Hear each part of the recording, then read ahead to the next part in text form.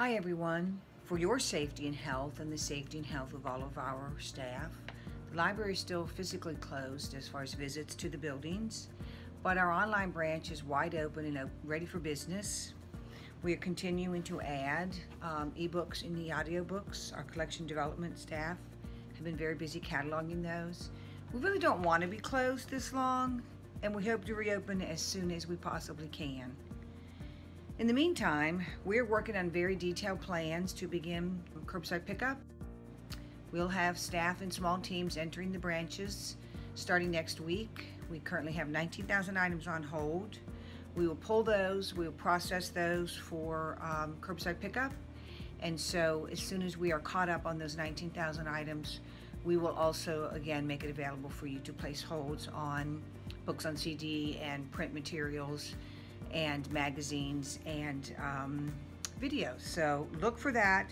We will continue to put updates on our website and our social media channels. Basically, we have had to reinvent um, how we do business, how we deliver services to you uh, in the public library sphere. And it's taken us a little bit longer than we had hoped. But if you could just bear with us for a few more weeks, we will get there. Uh, we do not have anything overdue right now. We don't have any fines accruing right now, so we ask you to continue to keep your materials and we will not charge you for any overdue fines. Speaking of good books, I like to take time in these videos to recommend a few. I've been meaning uh, since the book first came out to read it and I finally started on it and I'm loving it. And that is Michelle Obama's book, Becoming. It's a fabulous story nonfiction book, really, but a fascinating look at her life. Uh, she's a very popular woman still, even though she's no longer in the White House, and she has had an interesting journey in America. And I heard her speak at a conference one time. She got a standing ovation, including from me. She's a great speaker and a wonderful leader in our community. we have it in six different formats at the library, including a Spanish version, and that's Becoming by Michelle Obama.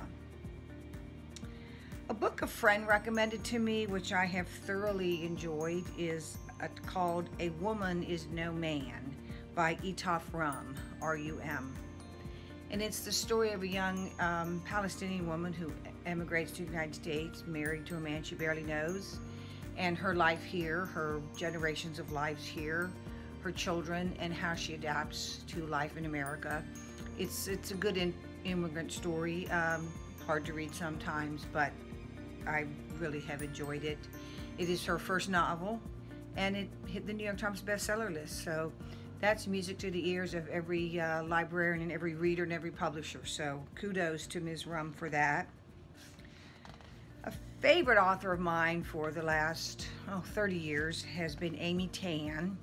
She wrote the very fabulous um, The Kitchen God's Wife, The Joy Luck Club, The Bonesetter's Daughter, She's a Chinese American woman and she's a fabulous, fabulous storyteller. I've loved everything that she's written, and this book is historical fiction set in Shanghai in 1912. The Qing dynasty has recently fallen, and um, she, as a Chinese American, and her mother, who is American, have to kind of figure out how they live, how they exist, and where they fit in Shanghai uh, in the 19 teens. So I have loved it. I love historical fiction. It's a very good book. We are still issuing library cards. We're up to almost 1,600 issued since we closed in mid-March. And we are continuing to create PPE for local first responders. We have delivered almost 1,200 items so far, and that includes um, disposable stethoscopes for Mary Washington Healthcare. And those have been um, a challenge to make, but our 3D printers are running um, five, six days a week, and we're continuing to create those things.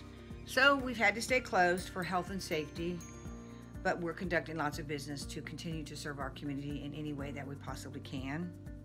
Please watch for updates on our website, librarypoint.org, and on our social media channels.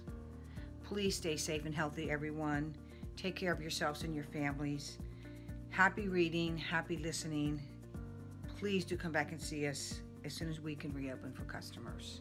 Stay tuned for more details on that. And thank you for using the library, watching these videos, and happy reading to all of you. Thanks very much.